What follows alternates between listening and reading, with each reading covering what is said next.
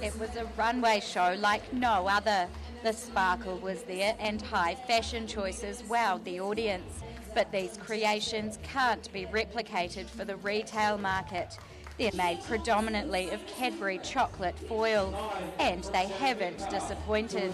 Every single one of them had something that, that showed their creativity to another level. The, the, the bar just lifted again this year. Every year I've said that, and every year I've meant it.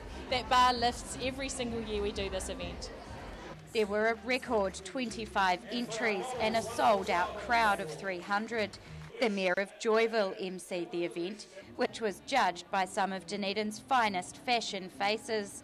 Overall winner Jenny Thomas is an aspiring writer, and rather than putting pen to paper, she used it as a fashion material. It's completely made of newspaper, so the only spots that I haven't used paper in it and the foil, the Cadbury foil are the flowers and this is a lampshade so which I've covered. So I tried not to use anything other than just using techniques with paper. Other prize winning outfits featured princess and army themes. Some were even inspired by Japanese and North American landscapes. And while Cadbury Couture is a fiercely fought competition, Rufio Karawana says it's all for a good cause. The Couture event is about having fun with charity, with fashion, with our foils, and it's all about raising money for charities. So this year's charity was our Friends of Children in Hospital, and that was to raise money for equipment to be used within the new paediatrics ward we have here at the hospital.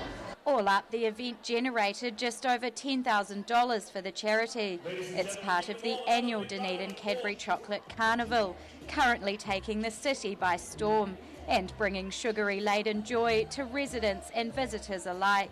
Rosie Mannins, 39 Dunedin News.